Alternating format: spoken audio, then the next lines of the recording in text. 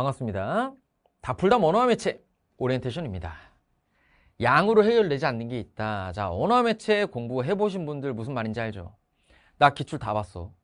엔제 보고 막 사설 모의고사 보고 계속 봤는데 현장 가면 맨날 하나씩 틀려요. 그럼 여기서 양을 늘리면 과연 안 틀릴 수 있을까요? 그게 아닌 걸 아시죠, 그치? 예, 그래서 그 부분을 해결해 드리는 강좌가 바로 다풀담 언어 매체입니다. 학습 목표 강좌 구성 추천 수강 대상 마무리 인사 순서로 진행하겠습니다.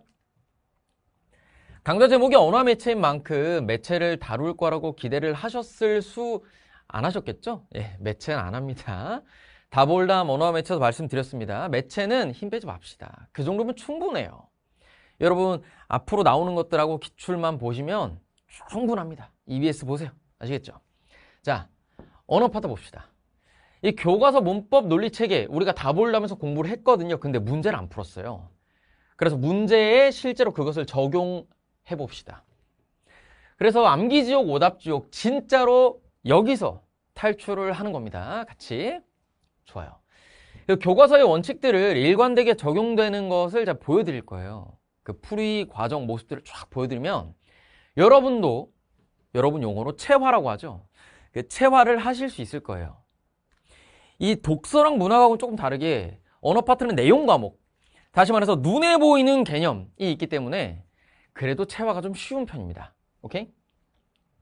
그 다음에 지엽적인 암기, 예외상황 암기 이런 거 없이 문제를 헤쳐나가는 방식을 또 보여드릴 겁니다.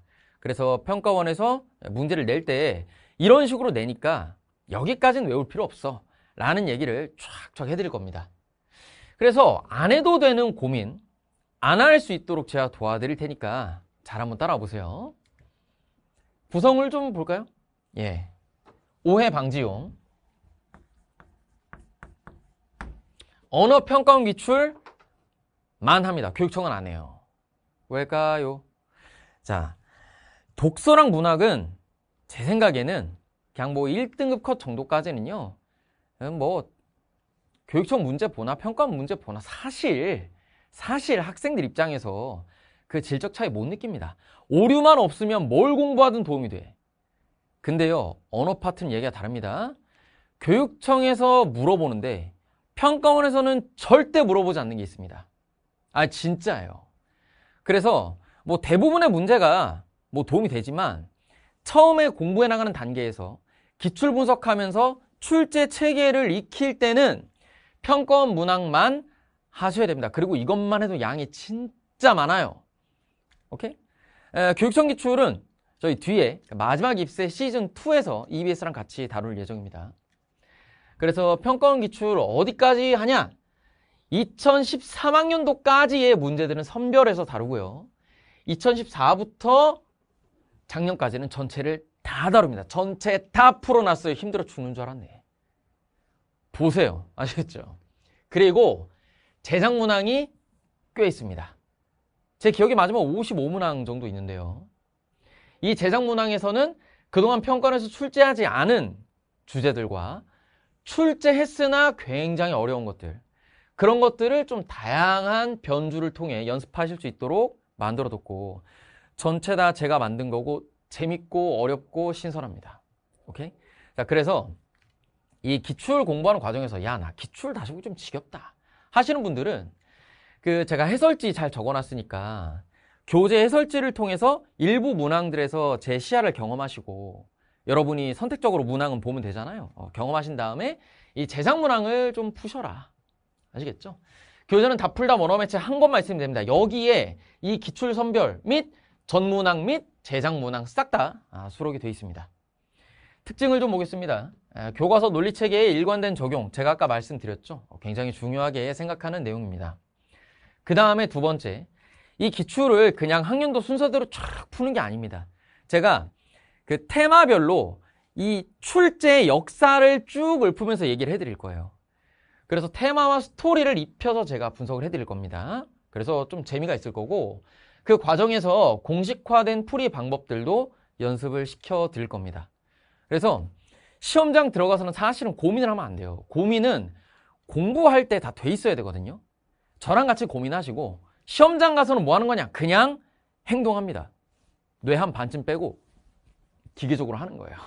아시겠죠? 그렇게 할 수 있게 도와드릴 거고 중요한 거죠. 아, 출제되는 내용과 안 되는 내용들 구분해서 설명해 드릴 겁니다. 문항의 구성이 되어 있다고 해서 여러분이 다 암기를 해야 되는 게 아니에요. 그거를 암기해야만 풀 수 있도록 내지 않았다는 걸 제가 교과서의 논리를 바탕으로 증명을 해드리긴다. 해드리긴다? 어, 해드립니다. 자, 그 다음에 네 번째. 수업의 체계를 담은 해설지. 아, 저희 전 강좌 공통 내용이죠. 자, 근데 여기서 질문이 있을 수 있죠. 다볼담 과정은 개념 설명만 있으니까 저는 기출 풀이만 보고 싶어요 라고 하실 수도 있잖아요. 근데 저는 세트로 수강하는 걸 당연히 권장합니다. 이건 뭐 당연한 건데 왜 그러냐면 이거는 다볼담 언어와 매체의 그 문법 개념 설명을 들어보신 분들은 이해할 거예요. 제가 설명해 드린 게 일반적으로 여러분이 들어왔던 거랑은 그 체계가 좀 다르죠.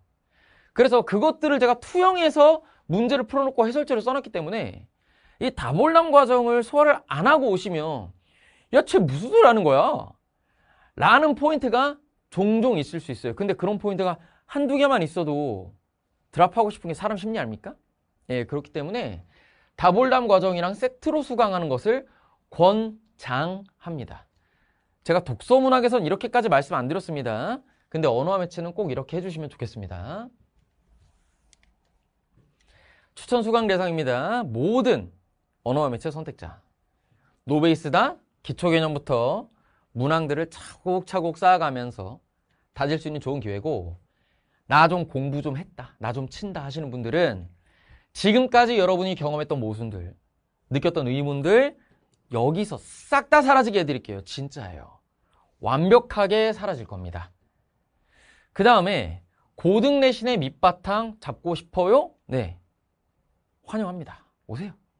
이 문법 문제가 어쨌든 간에 순수 창작보다는 기존의 기출 변형이 많지 않습니까? 그러면 교과서의 논리 체계를 잘 녹여서 그간의 기출 전문항을 다 풀어둔 강좌가 있다면 내신에 활용해도 좋겠죠. 예. 그래서 이 내신에도 도움이 되니까 필요하신 분들은 수강하시는 것을 권장하고요. 아까 말씀드렸죠? 개념 건너뛰고 기출 분석 듣고 싶은데 지장 있을까요? 예, 지장 좀 있어요. 그래서 안 되는 건 당연히 아닌데 추천은 안 합니다. 이쯤 할게요. 네, 좋습니다. 자, 제 목표는 이거예요.